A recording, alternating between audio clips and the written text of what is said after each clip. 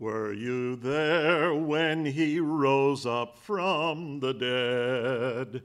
Were you there when he rose up from the dead? Oh,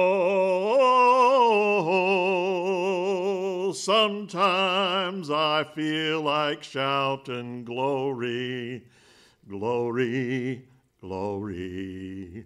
Were you there when he rose up from the dead? Indeed, friends, were you there? We are we are so grateful that you are here joining us today. This great day of Easter, the day that we celebrate the resurrection of our Lord. We have celebrated a Good Friday service in which we, along with so many others throughout the centuries, mourned with Jesus as he journeyed on the walk towards the cross, as he lamented, as he cried out, as he was laid in the tomb. And now, this morning, friends, we get to celebrate. So I'm so glad that you are joining us on this day that we celebrate the resurrection of our Lord. Will you please join me with the opening sentences of worship? Christ is risen. He is risen indeed. Christ is risen. He is risen indeed. Christ is risen. He is risen indeed. This is the day the Lord has made. Let us rejoice and be glad in it. Indeed, friends, let us rejoice and be glad in this day as we now come to our first hymn Christ the Lord is risen today.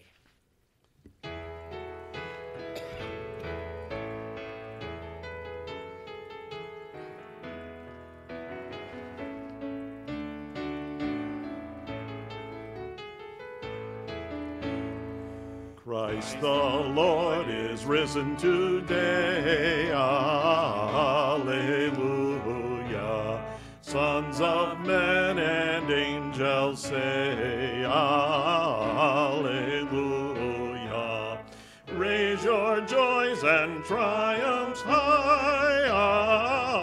Alleluia. Sing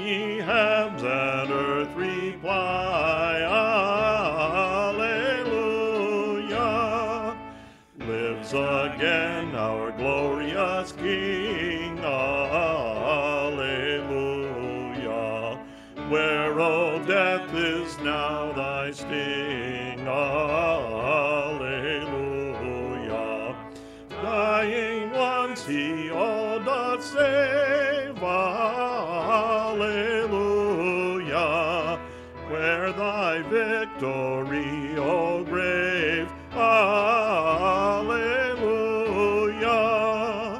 Love's redeeming work is done. Alleluia.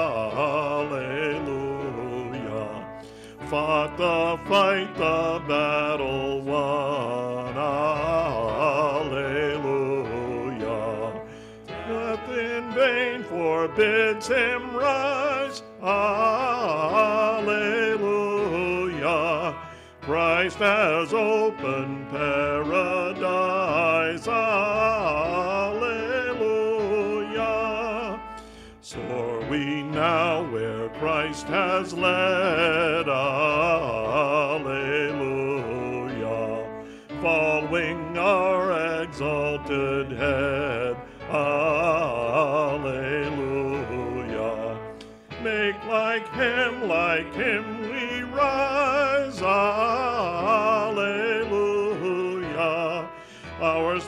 the cross, the grave, the skies. Alleluia.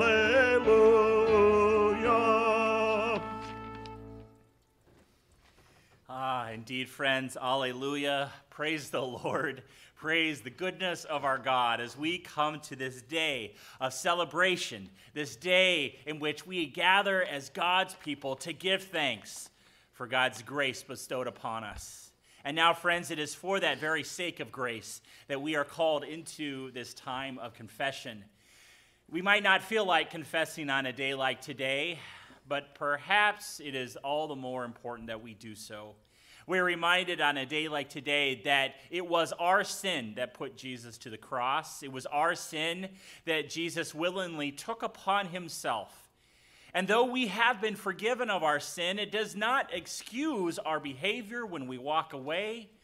We still, every day, every moment, have the opportunity to choose our faith to choose to follow, to choose to say yes to grace and a mercy, and to say no to sin in our lives. And so now, as we are called into this time of confession, we are called into this moment. And first, we have this silent moment in which we allow God to speak to us, in which we have that very moment in which we offer ourselves up to our God and then, friends, after that moment of silent confession, then together in unison, I invite you to pray aloud with me the prayer of confession as it is printed in your bulletins. And so now, as we trust in the goodness and the grace of our God, let us bow our heads together and let's enter into a time of prayer.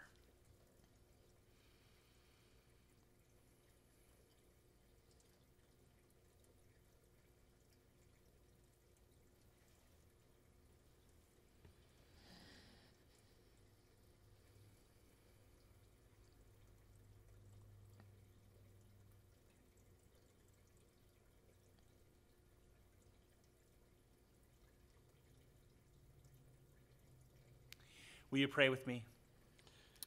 Lord, Lord Jesus, Jesus, through the, through the power, of the Holy Spirit, we, have been raised from the waters of baptism to share in your glorious resurrection. Yet we have not lived as Easter people.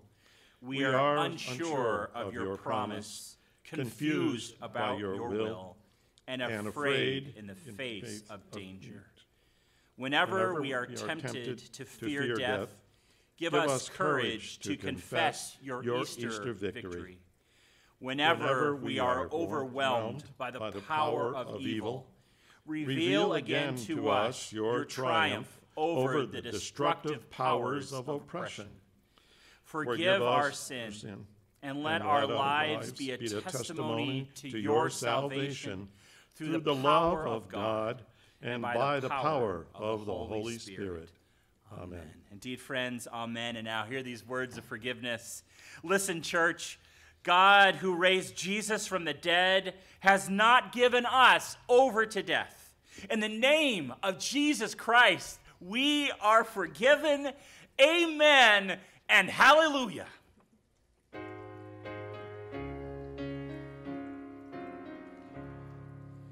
Glory be to the Father, and to Son, and to the Holy Ghost, as it was in the beginning, is now, and ever shall be, world without end. Amen. Amen. Indeed, amen. I now invite you to join with me in the unison reading found in your bulletin this morning from Psalm 118, verses 1 through 2 and 14 through 17. This great psalm meant for us this day that we celebrate the resurrection of our God. Give thanks to the Lord, for, for he, he, is, good. good. His, His love, love endures forever. forever. Let, Let Israel say, His love endures forever. The Lord is my strength and my song. He has become my salvation. Shouts of joy and victory resounds in the tents of the righteous. The Lord's right hand has done many things. The Lord's right hand has lifted high. The Lord's right hand has done mighty things. I will not die, but live, and will proclaim what, what the, Lord the Lord, has, has done. done. Indeed, friends, we do proclaim what the Lord has done on a day like today. For this is indeed the day the Lord has made. We are rejoicing together, and let us be glad in this day. Now, all throughout our Lenten preparations, as crazy as they were, as short as they were, as different as they were, This is a day that we have been waiting for, isn't it? We knew this day was coming, a day which took death in the chops. As it says in 1 Corinthians 15, death has been swallowed up in victory. Where, O death, is your victory? Where, O death, is your sting? Today is a reminder that no matter our circumstances of our lives, no matter the difficulties we encounter, no matter the heartache or the pain we might feel, God has a plan and is with us this time. Now, there's no doubt we need this good news, the news of triumph that we stake our entire lives upon. We need to remember that our faith journey 2,000 years ago, it began with uncertainty. It began with fear. It began with trembling. As Mary and the other Mary approached the tomb of Jesus on that early Sunday morning all those years ago. We need to know that those who went to the tomb that morning did so with heavy hearts because death had come so close. And yet, this great triumphant event had occurred. And that's where we turn to our gospel lesson for this morning, friends, from Matthew 28, verses 1 through 10. Listen now to the word of the Lord. After the Sabbath, at dawn on the first day of the week, Mary Magdalene and the other Mary went to look at the tomb. There was a violent earthquake, for an angel of the Lord came down from heaven and, going to the tomb, rolled back the stone and sat on it. His appearance was like lightning, and his clothes were white as snow. The guards were so afraid of him that they shook and became like dead men. The angel said to the women, Do not be afraid, for I know that you are looking for Jesus, who was crucified. He's not here. He is risen, just as he said. Come and see the place where he lay. Then go quickly and tell his disciples he has risen from the dead and is going ahead of you to, into Galilee. There you will see him. Now I have told you. So the women hurried away from the tomb, afraid, yet filled with joy and ran to tell his disciples. Suddenly, Jesus met them. Greetings, he said. They came to him, clasped his feet, and worshiped him. Then Jesus said to them, Do not be afraid. Go, tell my brothers to go into Galilee. There they will see me. This is the word of the Lord. Thanks be to God. Will you pray with me? Lord, as we come to your text today, it's a text we need. It's a passage like balm that will soothe our souls. Help us, Lord, this morning as we come to your word, that we may know it, that you may help me to preach it, that you may deliver us from evil, that you may direct us into your path, that we may journey together as your disciples. Use your word, Lord to revive us and to guide us this day. And we pray this in your name. Amen. Well, I'll be honest with you. This whole season, the season of Lent, has really felt really weird. It's really felt really strange. And I bet I'm not the only one who has felt that way. In quick succession, we went from talking about this virus that was in a far off land to being personally, radically affected by it in so many ways. Even on Palm Sunday, when we were able to gather together a week ago, everything felt just a little bit off. And then with Holy Week, without our ability to gather on Monday, Thursday, or Good Friday, it contributed even more to our sense of isolation from each other. I know that we would have loved to have been together. I would love to have had you in this place, and yet we could not. But the good news, friends, today is Easter, which means that today we celebrate the resurrection. No, no, often, uh, no matter we have trouble getting our spirits up, but that's in normal days. That's a normal times. So perhaps the question for today is what does it really mean to celebrate Easter today? How are we uh, supposed to approach the resurrection of Jesus with all the things that we're going through? Well, the first way is to truly acknowledge our fear. our fear of the unknown, our fear of death. And the truth is that though death has come near to the friends of Jesus, it has come near to us, it doesn't change the death rate. It just makes us more aware.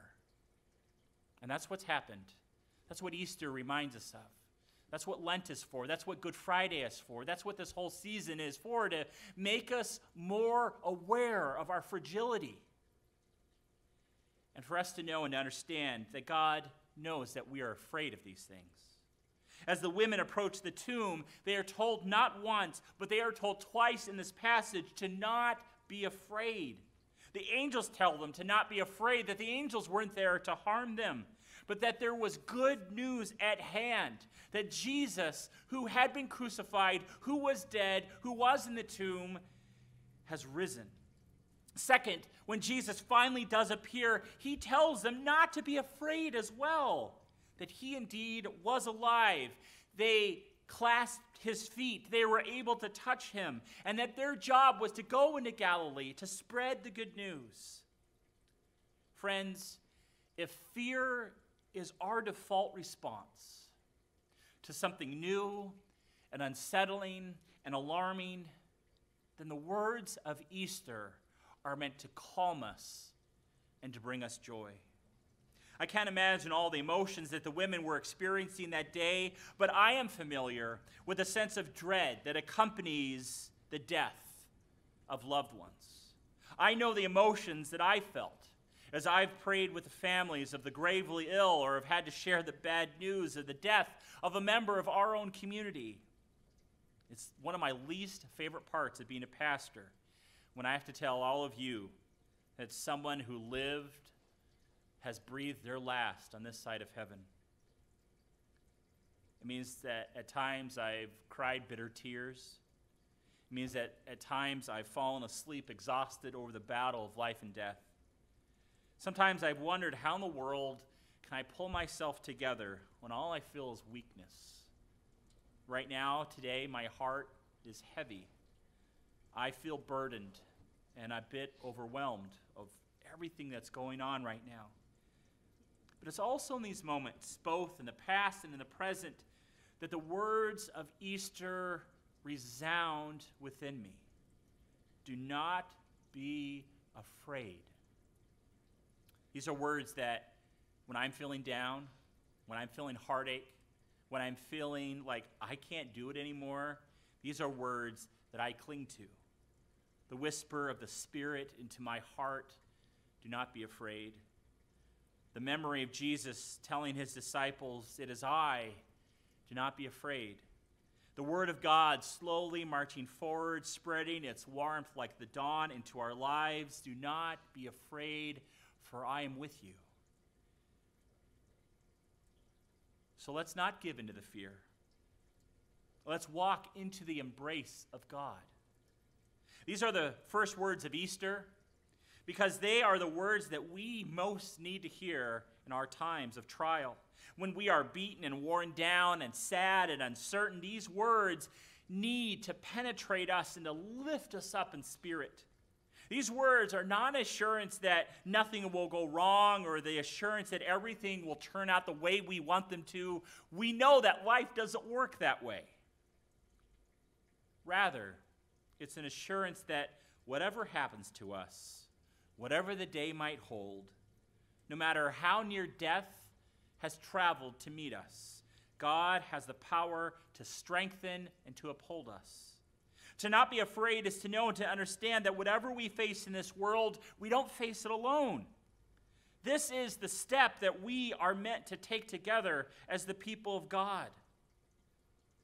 This is who we are called to be as we try to understand what Easter means for us today. It is into our fear that the voice of Jesus speaks.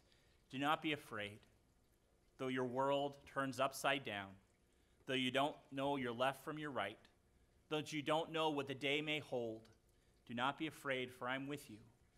I will never leave you or forsake you.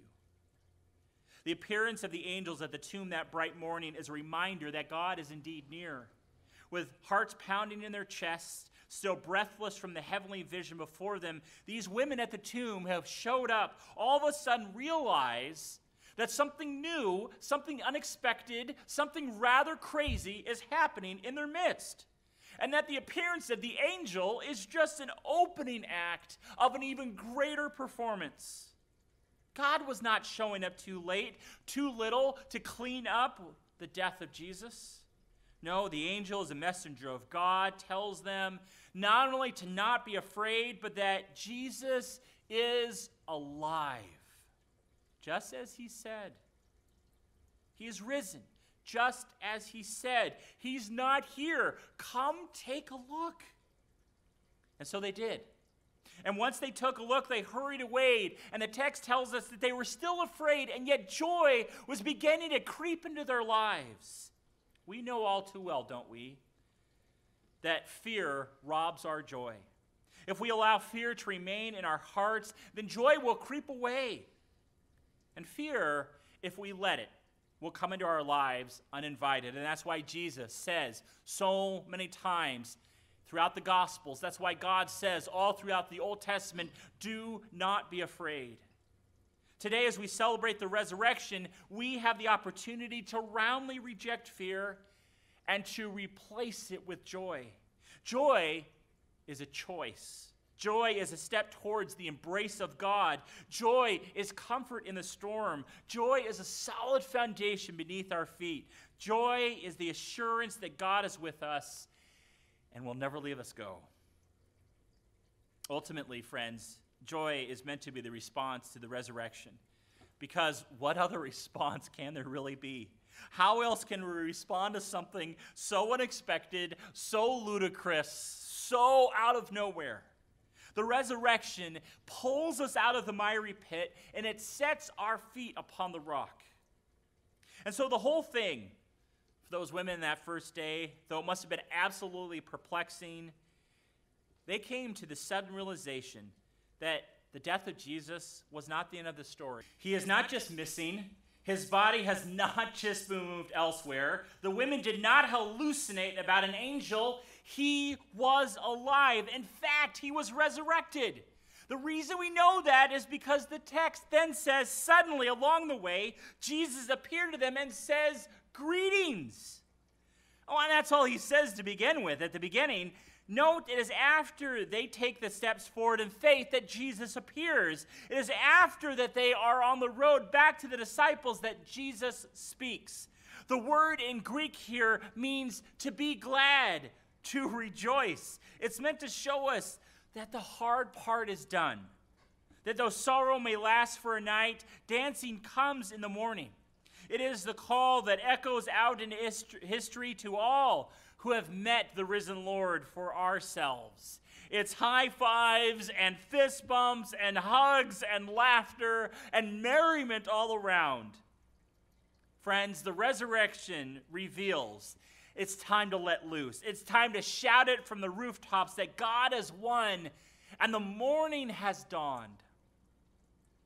This means that joy truly is available to us today. Though we do have much to fear, though fear itself has come near, we can choose joy. Because joy allows us to recognize that God is with us in the midst of everything that storms around us. If Jesus can overcome death, what else can he really do for us? Can't he lift us up? Doesn't He call us to rejoice? Can't He fill us with His Spirit so that fear truly finds no home in us? Yeah, friends, He absolutely can, He will, and He does. And that is what Easter is all about. Will you pray with me? Lord God, we thank you for this beautiful day that you've given us. A wonderful day of the resurrection, of the celebration of joy that banishes your fear. Lord, right now, we recognize that we have a choice. We have a choice in which we can say yes to you, we can say no to fear. And so, Lord, on this resurrection day, help us to do that with you. It is by your strength, it is by your power, it is by your spirit that we are gathered. And so, Lord, will you come and comfort us and speak your words of truth to us once more? We pray this in your great and glorious name. Amen. Indeed, friends, amen. Let us now turn to our second hymn, In the Garden. Will you please sing with us?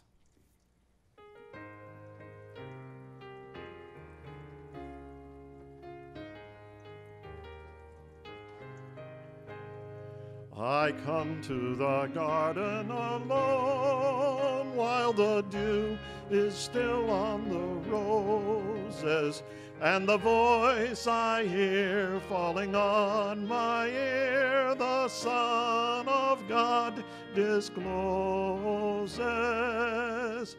And he walks with me, and he talks with me and he tells me I am his own, and the joy we share as we tarry there, none other has ever known. He speaks, and the sound of his voice is so sweet, the birds hush their singing and the melody that he gave to me within my heart is ringing. And he walks with me, and he talks with me, and he tells me I am his own. And the joy we share as we tarry there none other has ever known. I'd stay in the garden with him, though the night around me be falling. But he bids me go through the voice of woe. His voice to me is calling, and he walks with me and he talks with me and he tells me I am his own and the joy we share as we tarry there none other has ever known.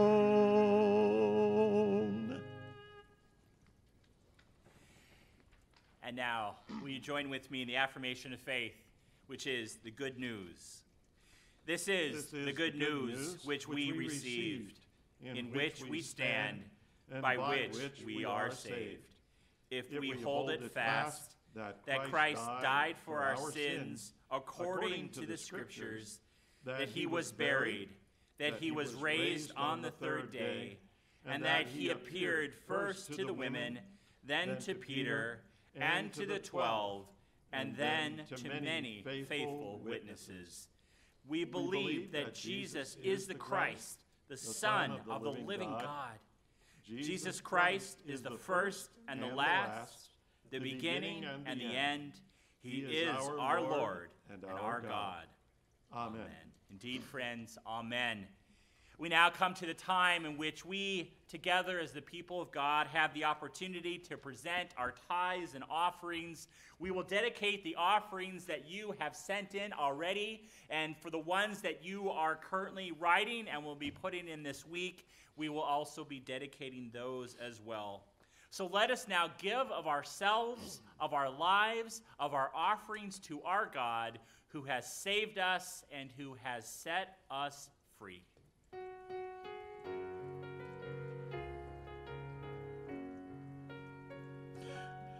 God sent his Son. They called him Jesus. He came to love, heal, and forgive. He lived and died to buy my pardon. An empty grave is there to prove my Savior lives. Because he lives, I can face tomorrow. Because he lives, all fear is gone. Because I know he holds the future. and life is worth the living just because he lives. And then one day I'll cross the river.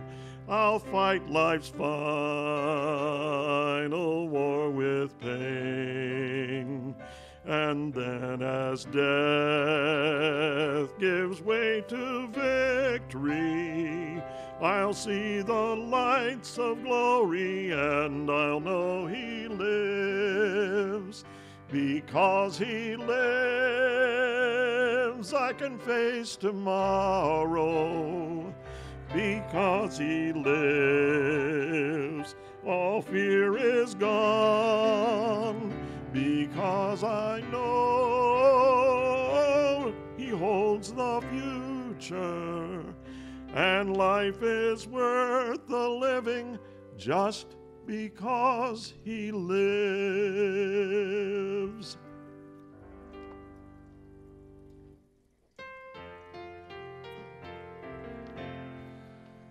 Praise God from whom all blessings flow. Praise him, all creatures here below. Praise him above, ye heavenly hosts. Praise Father, Son, and Holy Ghost. Amen. Indeed, friends, amen. Will you now please join with me in the prayer of dedication? Almighty, God, by, your grace, accept the fruit of our labor and the, offering, of our lives in union, with, our risen Lord, who lives and reigns with you forever. Amen, and hallelujah.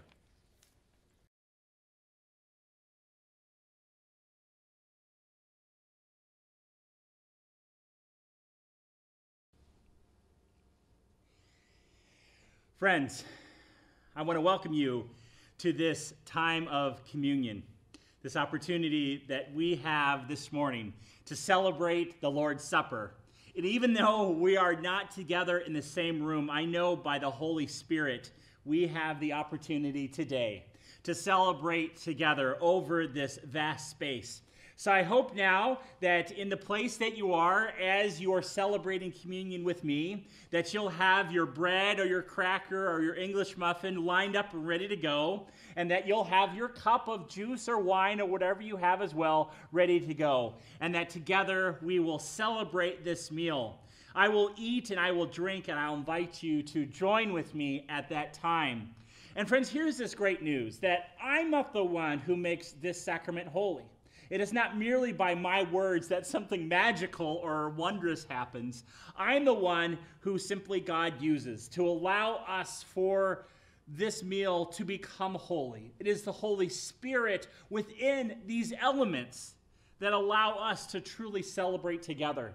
And so, my prayer for you is that you may know that the Spirit is with you today, with us together, as we come now to this table, as we are drawn to this place. As we do begin to prepare ourselves, I pray that you will join me in this time of prayer as we seek now to ready ourselves to celebrate this meal. Will you pray with me? Lord God, we thank you for this meal that you have given us. We thank you for your blessing, for your son Jesus, who we celebrate has given us life on this Resurrection Sunday. We pray now that you will prepare us to receive this meal, that your Spirit will be upon us all and will be within us and within these elements as we celebrate over all these spaces. Lord, we know that as we are drawn to this table today, we're not drawn because we're holy ourselves. We're not drawn because we have our act together. We come because you invite us to come. So, Lord, ready us to receive what you have blessed us with. And we pray this in your great and glorious name. Amen. Well, friends, first, we turn to our bread. And we are reminded of those great words that Jesus had with his disciples as he celebrated with them in the upper room.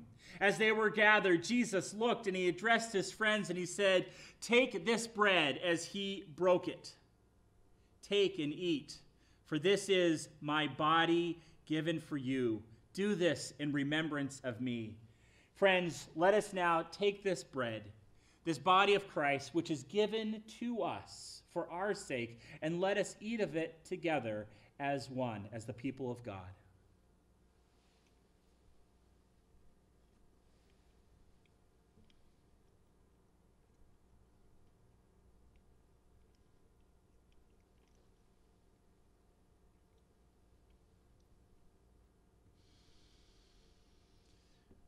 And friends, let us now take the cup together. And let us remember these words that Jesus spoke to his disciples at the end of the meal. He took the cup and he gave it to his disciples, saying, Take and drink. This cup is the new covenant shed in my blood. It is sealed for you for the forgiveness of sins. And that so often as you drink of it, remember me. And now, friends, together, let us drink of this as we remember.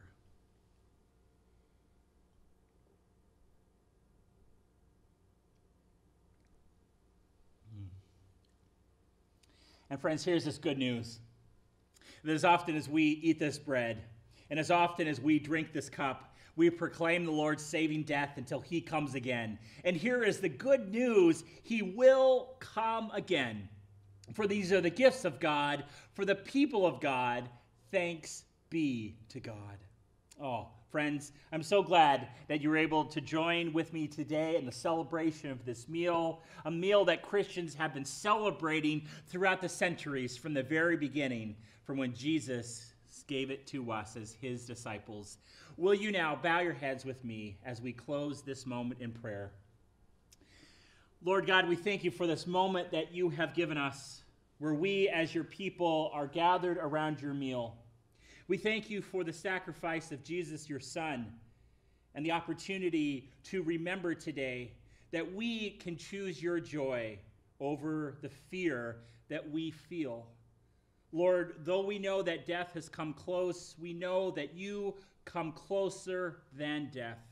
And so, because of that, we come to you on behalf of all of those who we know are experiencing death and loss and illness in this time.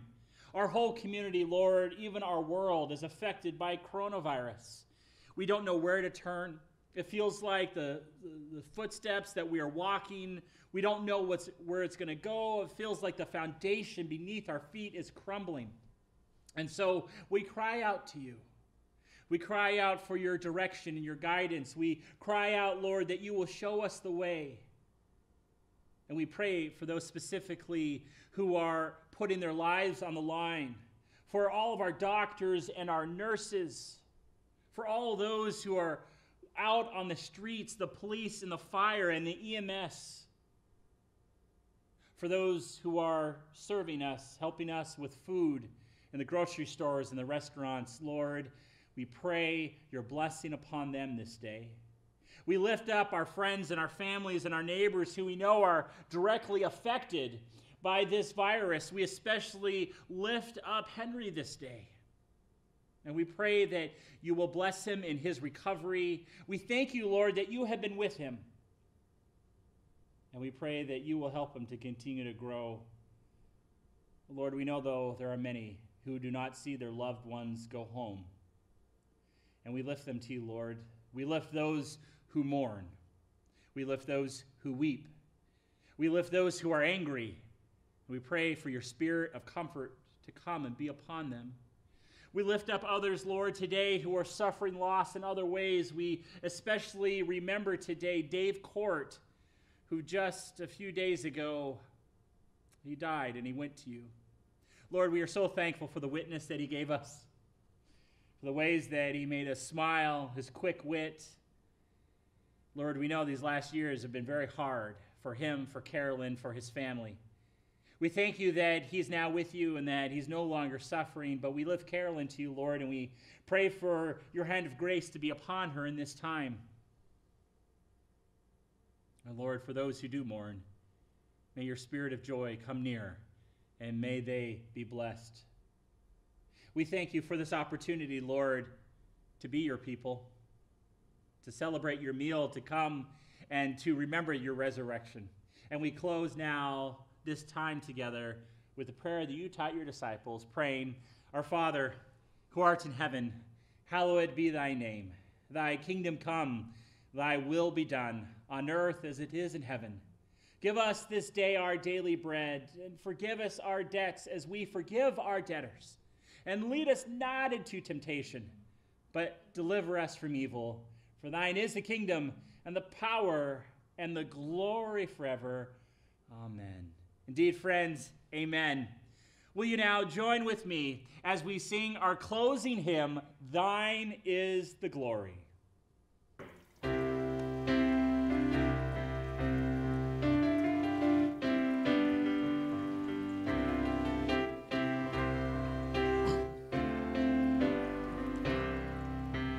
Thine is the glory, risen conquering Son. Endless is the victory thou o'er death hast won. Angels in bright raiment rolled the stone away, kept the folded grave close where thy body lay.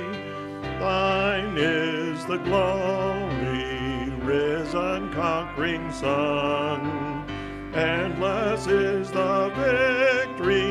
thou o'er death hast won. Lo, Jesus meets us, risen from the tomb. Lovingly he greets us, scatters fear and gloom. Let his church with gladness hymns of triumph sing. For her Lord now liveth, death has lost its sting. Thine is the glory, risen conquering Son. And this is the victory thou o'er death hast won. No more we doubt thee, glorious Prince of Life. Life is not without thee. Aid us in our strife. Make us more than conquerors through thy deathless love. Bring us safe through Jordan with the power and love. Thine is the glory, risen conquering Son. Endless is the victory thou o'er death hast won.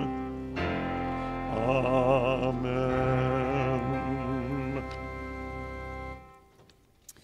Oh, indeed, friends, amen. I'm so glad that I had the opportunity to journey with you today, to celebrate with you today in worship. I now invite you to please join with me in the sending and in the benediction. Empowered, Empowered by, by, the Holy, Holy Spirit, Spirit, our, our mission, mission is to seek God, follow, Christ, serve and love our neighbor. And now that our worship has ended, let his mission begin. And let all of God's children say, Amen, Amen and, and hallelujah. And hallelujah and hallelujah. Amen, friends. Have a blessed Easter. God bless.